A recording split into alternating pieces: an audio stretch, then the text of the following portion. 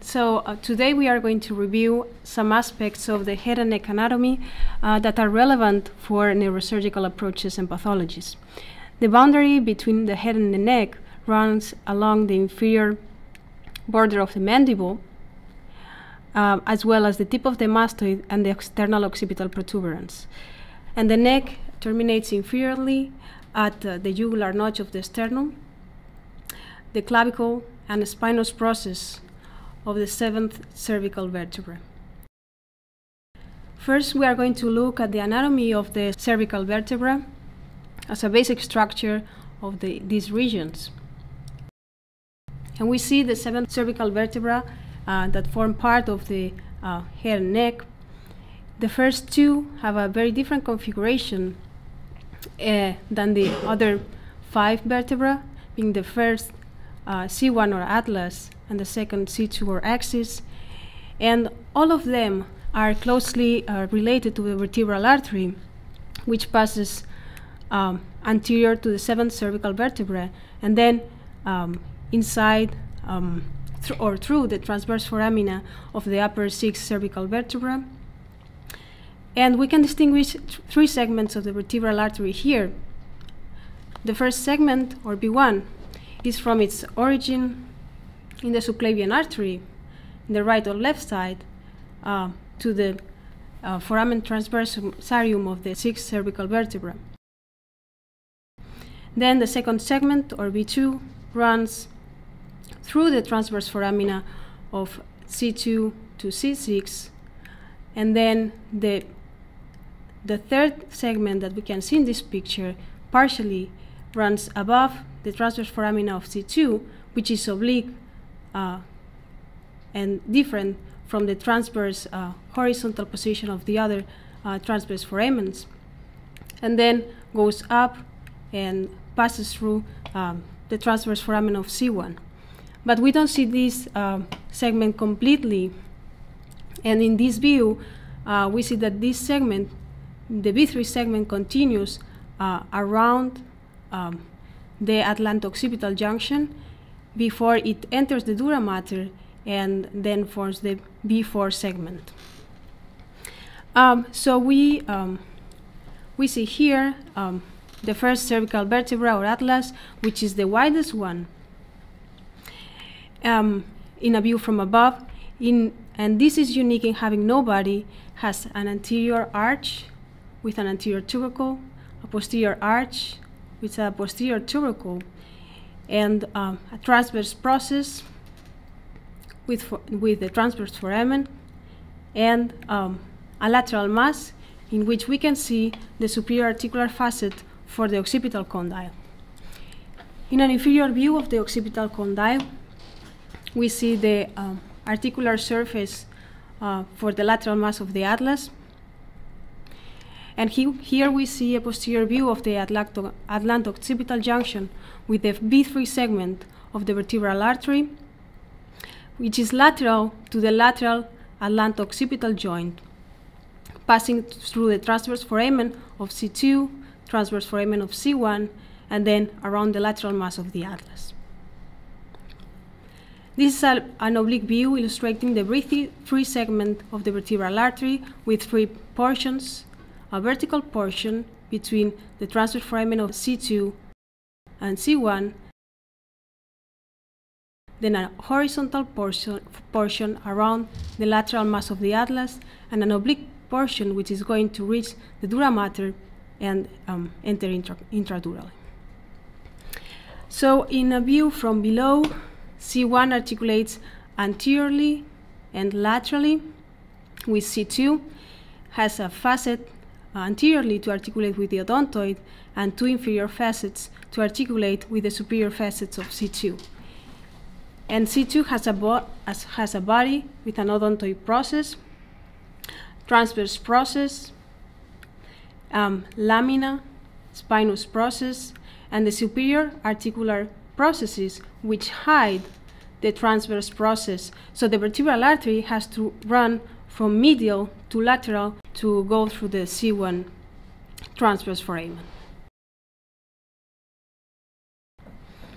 This is a superior view of the atlantoaxial articulations in which we see the transverse foramen of C1, but we cannot see the transverse foramen of C2, which makes the vertical portion of V3 ascend superiorly and laterally to pass from the transverse foramen of C1 to C2.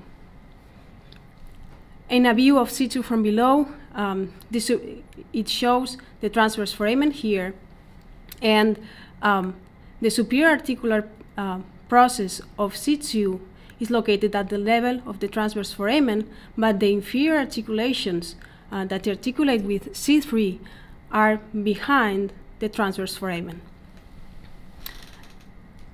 The other cervical vertebrae, this is C3, are similar um, in configuration with a body, a transverse foramen in the transverse process, the articular processes, lamina, and spinous processes. The posterolateral lips of the bodies of C3 to C7 project upwards, forming the uncinate processes. This is important because the uncinate processes are related anteriorly to the intervertebral foramina. And the configuration of the structures in the intervertebral foramina are um, the vertebral artery runs anteriorly and the cervical nerves run posteriorly from C3 to C7. So uh, the vertebral artery is lateral to the vertebral bodies and anterior uh, to the articular processes from C3 to C7 and lateral to the C1-C2 joint. This is a lateral image um, of the relationship of the vertebral artery anterior um, to the articular processes and lateral to the atlantoaxial joint. Transnasal or transoral approaches can access the upper cervical spine and need to take into the account the, the, important relationships of the vertebral artery, which is lateral, but also the relationships of the carotid, which is anteromedial in this portion uh, to the vertebral artery, and all the structures uh, from the jugular foramen. So now focusing on the dissection of some topographical anatomy of the neck, this is the most superficial muscle of the neck, which is the platysma colli, innervated by the uh, cervical branch of the facial nerve. And if we remove this muscle that we have retracted here, then we, we see all the structures below, and um, we see here um, some nerve filaments, which are the cervical branch of uh, the facial nerve, and then another small nerve here, very important, which is the uh, marginal mandibular branch of the facial nerve, which innervates, in this specimen, you can see this branch innervates the musculature of the uh, lower lip and the cervical branch is the one that innervates the platysma colli. So injury to the marginal branch of the facial nerve may cause uh, asymmetry of the smile so we need to be very careful in placing the incisions in this area approximately 2 centimeters below the angle of the mandible to avoid injury of the marginal bra branch of the facial nerve. And then um, it's very important the topographical anatomy of the neck uh, because uh, we can see several, we can distinguish several triangles which are of importance in accessing pathologies in this area. And the sternocleidomastoid muscle is the most important structure in dividing um, the triangles of the neck because it divides the anterolateral part of the neck in the anterior triangle and posterior triangle. The anterior triangle um, runs between the midline, mandible, and the anterior limit of the sternocleidomastoid muscle, and the posterior triangle between the clavicle, the posterior aspect of the sternocleidomastoid muscle, and the trapezius muscle. And also an, an important structure to know this, this anatomy is the hyoid. The hyoid divides the anterior triangle of the neck into which are two compartments, the suprahyoid compartment and the infrahyoid compartment. The suprahyoid compartment is divided by the digastric muscle into two triangles. Um, the submental triangle and the submandibular triangle that we see better in this dissection. We see the anterior and posterior belly of the digastric muscle, the submental triangle, uh, which is uh, contains mainly fat and lymphatic nodes, and the submandibular triangle, which is more complex in structure, but what is important is that we can see here that the hypoglossal nerve um, can be seen approximately in the vertex of this triangle and is passing in front of the carotid artery here below the posterior belly of the gastric muscle.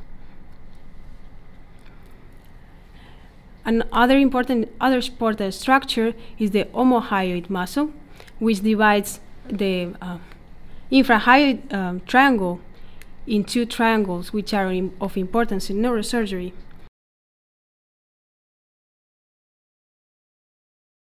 The one that is above the omohyoid triangle is the carotid triangle where we are going to find um, most of the times the carotid bifurcation and the inferior one is called as well um, the omotracheal space or muscular triangle.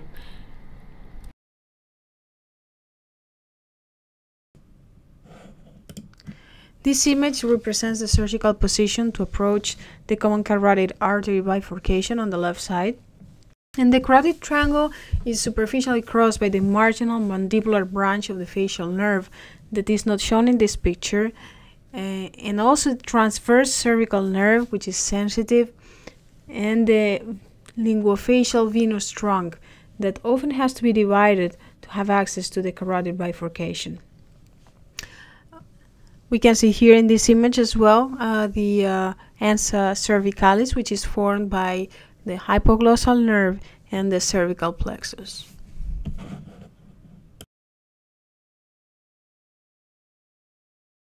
If we retract the submandibular gland, we have a better view of the external carotid artery, the internal carotid artery, which loops here. Um, and the ansa cervicalis that we see here is often uh, superficial to the vein, but in this case is uh, deep to the vein in between the artery and the internal jugular vein. So this is a posterior lateral view of the pharynx and larynx after removal of the spine. And we see the ansa cervicalis here, uh, which comes from the hypoglossal nerve and the cervical spinal nerves to innervate the infrahyoid muscles.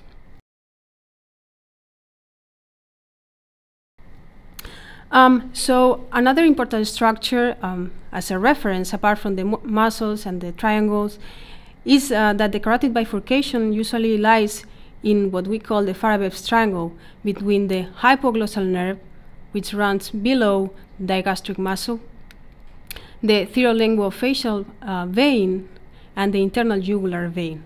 The carotid bifurcation usually lies uh, adjacent to the superior border of the uh, thyroid cartilage in approximately 50% of the cases. And uh, by elevating the external carotid artery, we see the carotid bifurcation here, and the 10th nerve runs between the, the carotid artery and the internal jugular vein. High carotid bifurcations lie above the angle of the mandible.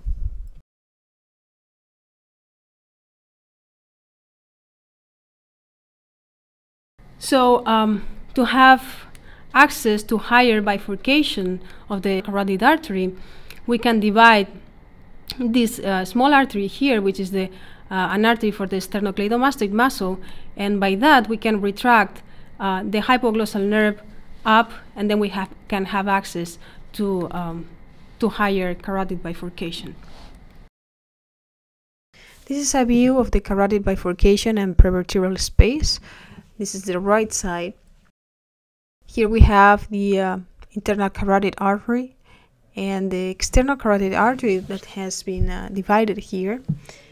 And the carotid body is uh, visualized as an oval structure in the carotid bifurcation, while the carotid sinus is an arterial dilation of the internal carotid artery at the bifurcation level. The carotid sinus nerve carries information concerning the pressure and chemical composition of the arterial blood and mainly joins the ninth nerve or glossopharyngeal nerve, but also has anastomosis and joins the 10th nerve and sympathetic chain. The omotracheal region or median cervical region, also called muscular triangle, is located between the omohyoid muscle, sternocleidomastoid muscle, which has been retracted laterally in this picture, and the midline. The jugular arch connects the anterior jugular veins on both sides. And the muscular triangle contains mainly uh, the infra, part of the infrahyoid muscles and then the thyroid gland, trachea, and esophagus. And laterally, in the sternocleidomastoid region, which is below uh, the sternocleidomastoid muscle, we can see the common carotid artery, the internal jugular vein, and a structure here crossing behind the carotid artery, which is the thoracic, thoracic duct.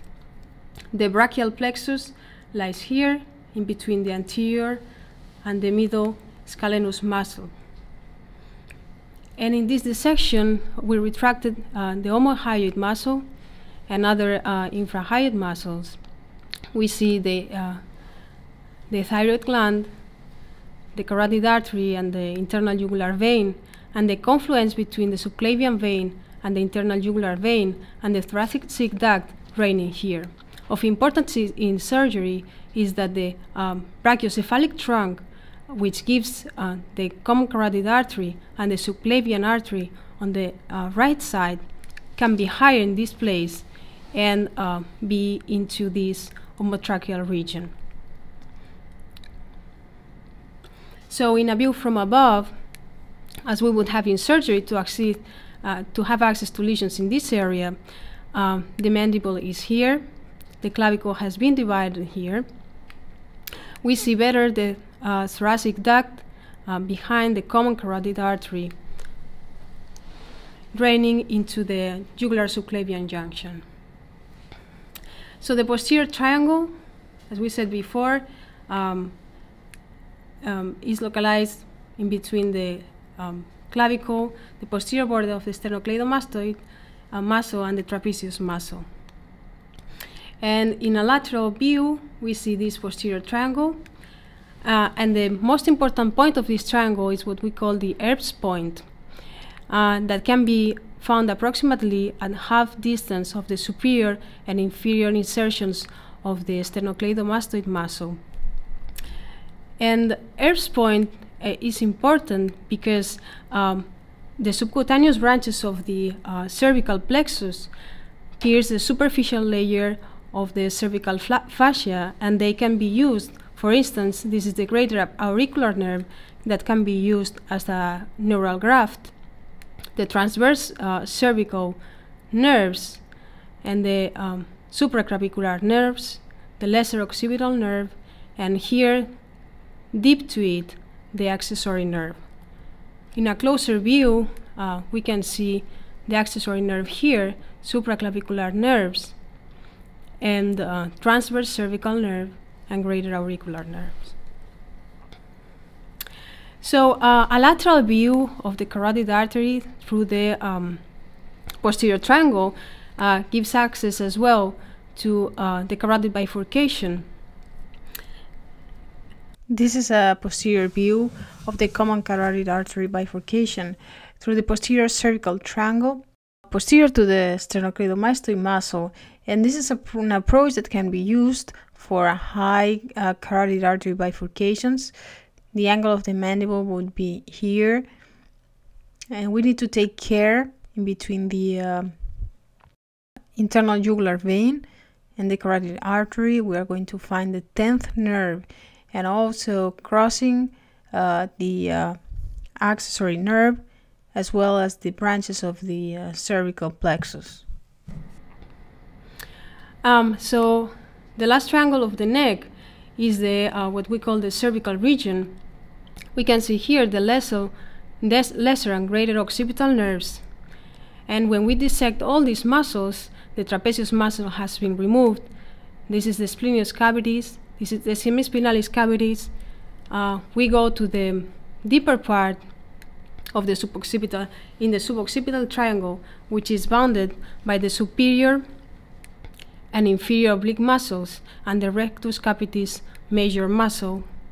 And in between them, we can see the vertebral artery and the um, and the venous plexus which surrounds this artery.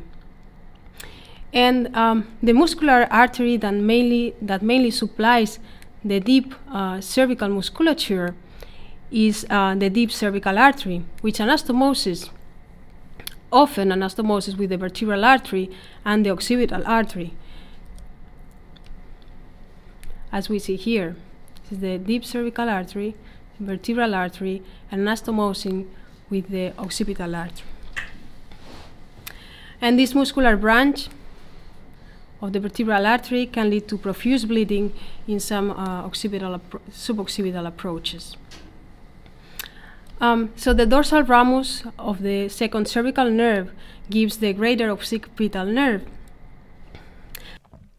And the ventral ramus, which is here, wraps around the vertical portion of the V3 segment of the vertebral artery, where the vertebral artery is lateral to the atlantoaxial joint.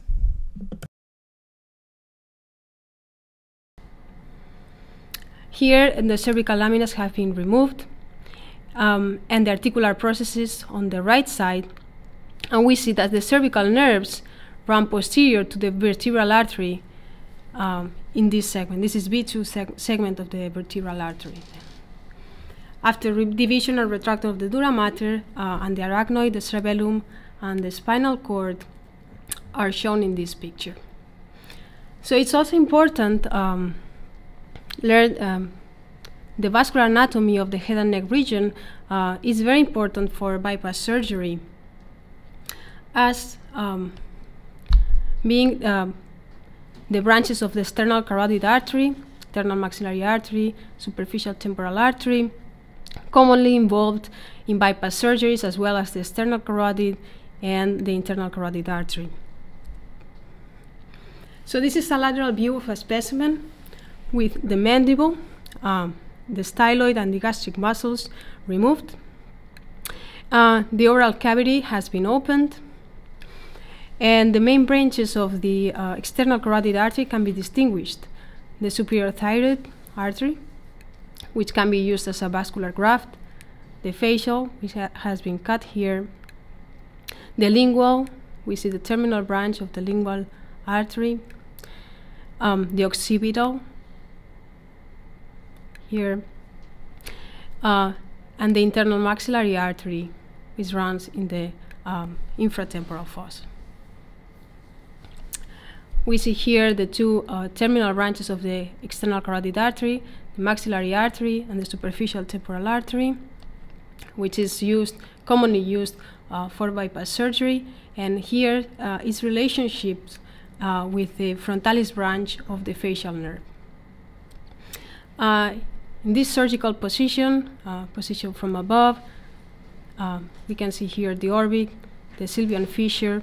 We have drilled part of the middle fossa floor and we see the internal maxillary artery um, that can be anastomosed to the middle uh, cerebral, cerebral artery interposing a vascular graft.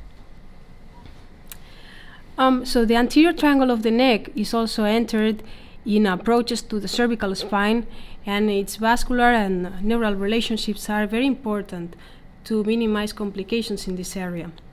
So in this view from above, after removal of the um, right clavicle, uh, we can have the important references of this anatomy. So in midline, we see the thyroid gland.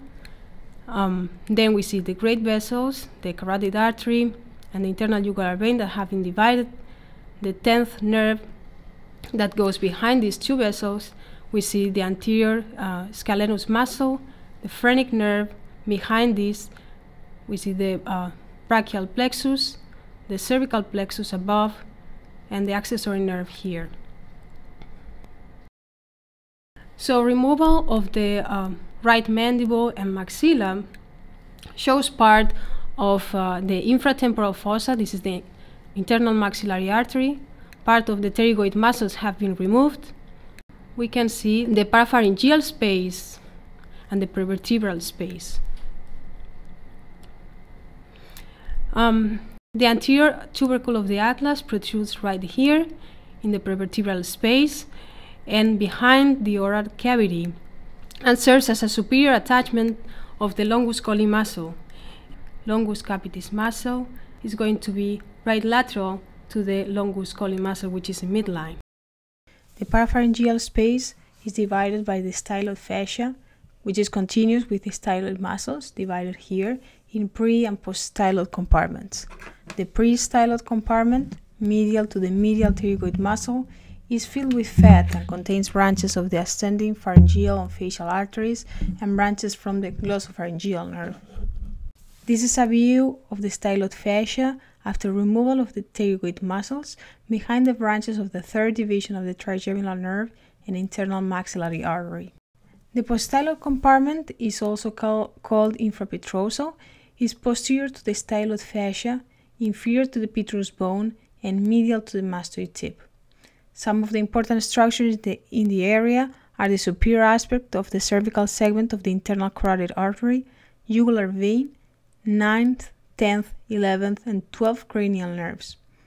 We see here the 9th cranial nerve anterior to the internal carotid, 10th cranial nerve is posterior, and 11th is crossing the internal jugular vein. Anterior, but sometimes is posterior to it. The 12th cranial nerve surrounds both carotid arteries above the hyoid bone and below the digastric muscle dividing the sternocleidomastoid artery, which is branch of the occipital artery just above the hypoglossal nerve, aids in safely retracting the nerve superiorly in approaches to the carotid artery.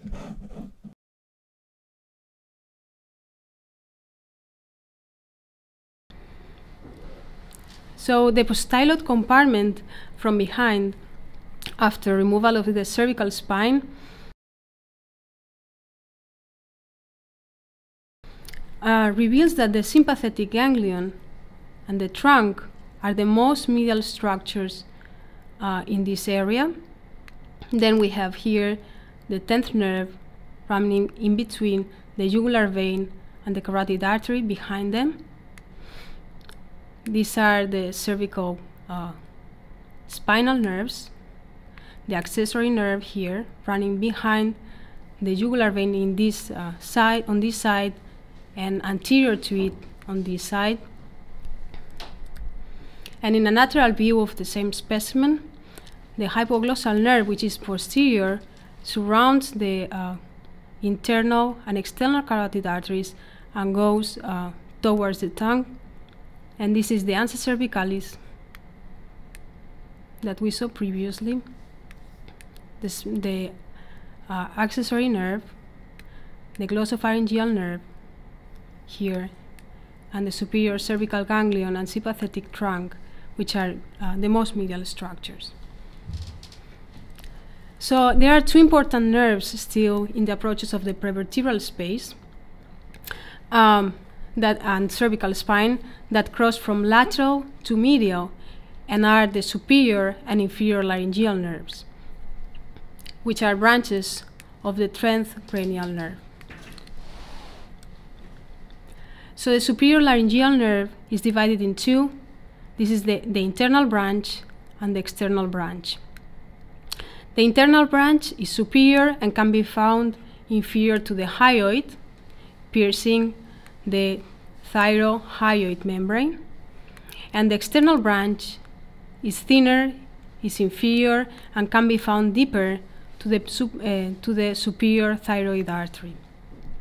It innervates uh, the uh, cricothyroid muscle, and the superior and the internal branch has a sensory function. So the function of the internal branch, we see here the internal branch below the hyoid, the external branch going to the cricothyroid muscle, and another nerve is the inferior uh, laryngeal nerve or recurrens which loops around the subclavian artery on the right side and around the, the aortic arch on the left side. It enters the larynx through this point inferior, in between the esophagus and the trachea, and innervates uh, all the muscles that are not innervated um, by the uh, external laryngeal nerve, so all the muscles except the cricothyroid muscle. So lesions of the um, unilateral lesions of the internal branch of the superior laryngeal nerve produce a feeling of foreign body in the throat, and bilaterally they may result in aspiration. Unilateral lesion of the external branch may be inadvertent, or um, the patient may have an impaired ability to produce acute sounds and his voice uh, fatigability. And the inferior laryngeal nerve, um, the unilateral damage of the inferior laryngeal nerve um, may be asymptomatic, or the patient may have most commonly uh, a hoarse or breathy voice, and bilateral lesion may be very serious and may cause stridor. So this is a frontal view of the larynx with the hyoid bone, the thyroid cartilage, the cricoid cartilage, and the uh, thyroid gland. And in this lateral view, we are going to see the same nerves that we uh, named before. This is these two nerves are part of the superior laryngeal nerve, internal branch, which is sens sensitive, and the external branch, which is motor. This is the uh, recurrence or inferior laryngeal nerve, inferior thyroid artery, superior thyroid artery. This is the view of the structure of the larynx. This is the cricothyroid muscle innervated by the external branch of the superior laryngeal nerve. And in a posterior view of the larynx, we see the anastomosis that is very frequent uh, between the uh, internal branch of the superior laryngeal nerve and the recurrence nerve. So um, the recurrence nerve uh, runs in between the cricoid um, cartilage and the inferior aspect or the cornu of the thyroid cartilage, and it can be, can be compressed by spatulas or retractors pressed against uh, this uh, inferior aspect of the thyroid cartilage, and they may transiently damage uh, the inferior recurrent nerve.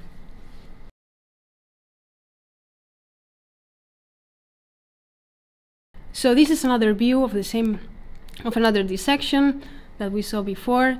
This is the 10th nerve giving, looping around the subclavian artery. This is the recurrence nerve or inferior laryngeal nerve. This is the external branch of the superior laryngeal nerve, the carotid artery. And we see here the uh, inferior thyroid artery, which is closely related to the inferior laryngeal nerve and the V1 segment of the vertebral artery and sympathetic ganglia which surround uh, the V1 segment of the vertebral artery. Uh, so the V1 segment before uh, the, of the vertebral artery before entering uh, usually the six uh, transverse foramina can be encountered in a triangle uh, called, called the scalenovertebral triangle between the anterior scalenus muscle and the longus uh, colli and longus capitis muscle. And we see here that uh, this is the triangle that we that we named before. Uh, the uh, V1 segment would be here behind the 10th nerve. This is the longus colli, mus longus colli muscle, longus capitis muscle. This is the um, sympathetic chain the superior cervical ganglion. Horner syndrome can be produced for lesions to the sympathetic trunk in anterior or anterolateral approaches to the cervical spine. Lesion of the longus colli in its lateral half can damage this trunk, so submuscular dissection is advised.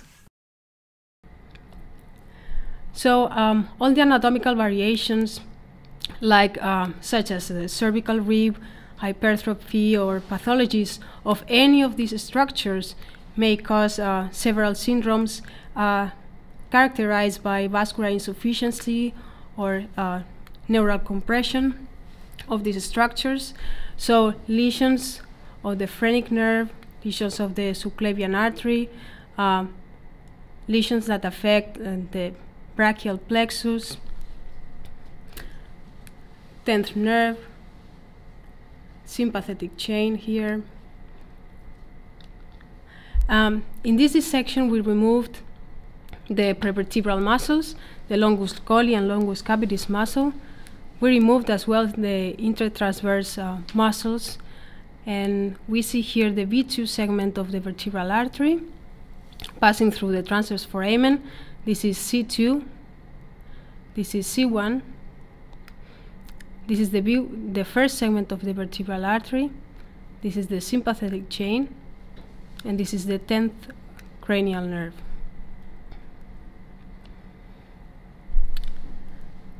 In this section, we can see that the cervical nerves um, pass behind the vertebral artery in the intervertebral foramina. So, in summary, um, knowledge of the anatomy of the head and neck regions uh, in neurosurgery, especially, is especially important for uh, cervical spine approaches and also for vascular, um, extra and intracranial pathologies as well as extensive skull base lesions. Thank you very much.